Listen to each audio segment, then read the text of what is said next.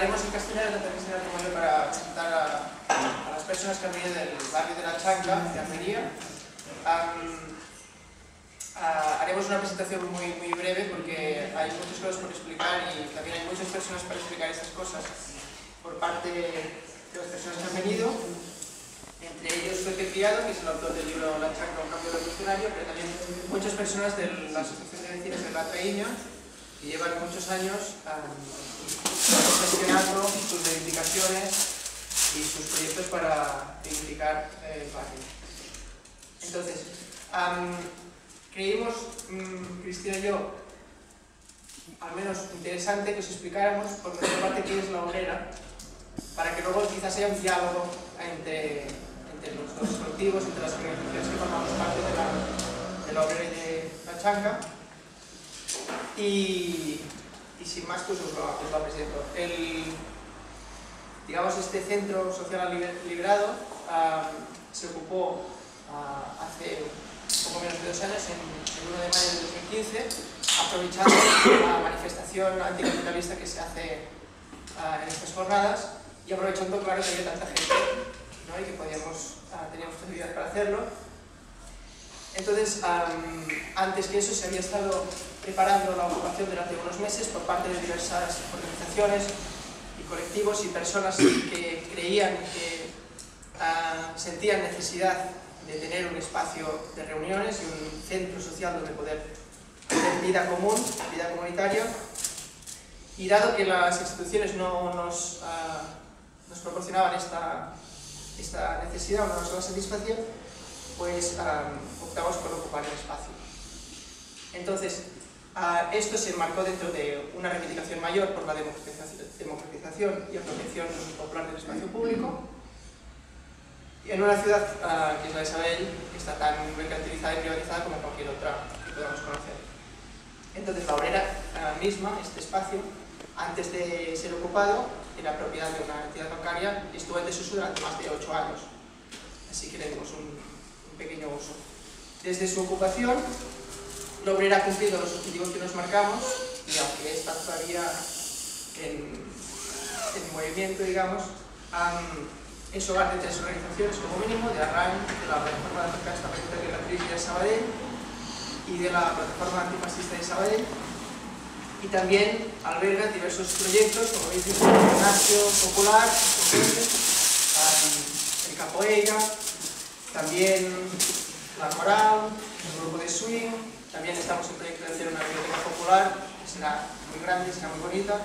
Y también tenemos un uh, grupo autoformativo, donde discutimos textos en, en común. Entonces, cada, cada una de estas actividades, estos proyectos, estas organizaciones utiliza la obrera, digamos, en, para su interés y si luego alguien de cada organización quiere, quiere preguntar algo, expresar dudas o hablar de algún conflicto que hemos podido tener, pues um, lo podemos hacer luego ¿no? como, como, digamos, uh, miembros de este grupo. Um, la obrera es un espacio abierto al y los vecinos de Sabadell, por lo tanto, dejamos entrar a quien sea. Y tenemos que decir que también ha servido, además de para crear uh, proyectos de todo tipo, como un uh, espacio de vehiculación del movimiento antifascista en esta ciudad puesto que desde hace un año hemos tenido algunos problemas con nazis de Sabadell y de alrededores y logramos ah, hacer organizar o coordinar una manifestación de 7.000 personas con participación de otras organizaciones, incluso de partidos políticos del régimen, que, pese a con su participación, nos uh, proporcionó algunas represalias legales que todavía cargamos. Esto sería brevemente lo que es un poco la obrera desde mi punto de vista siempre. Y bueno, yo soy Cristina y para, para introducir lo que será la, la, charla de hoy, primero hablará Juana, que nos pasará un, unas imágenes sobre la, la Asociación de, de, Vecinos de la Traíña, del barrio de La Chanca.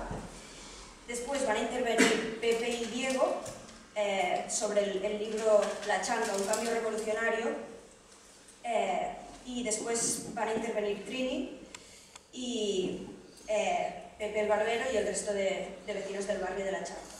Entonces, eh, sobre el libro, mmm, es, un libro que en, realidad tiene una, especie de, autoría coral que está hecho por las personas sencillas de, del barrio de La Chanca que reflexionan sobre su propia experiencia comunitaria y que se unen en un momento dado para decidir qué es una vida digna y qué no y tratar de llevarlo a la práctica eh, colectivamente, integrando y adquiriendo siempre nuevas formas de hacer.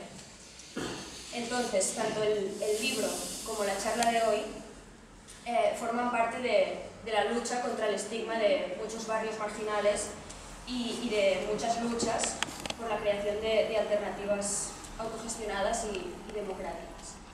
Entonces, bueno, yo ya no digo nada más, me quedo con, con una frase de, de Pepe el Barbero, que le conocí el jueves pasado en la universidad. Él dijo que en, en La Chanca, eh, en, en la asociación de vecinos, una cosa fundamental era que eh, no, no, no, o sea, todas las cosas tenían que decírselas a la cara para que nadie quedase fuera de las luchas, ninguna opinión ni ninguna discrepancia quedase fuera. Y esa es la única forma de crear luchas en común y de trazar objetivos comunes y de lograr ir todos a la una sin que nadie quede fuera. Y creo que eso es importante para todos los que estamos aquí ahora. Y aquí lo dejo.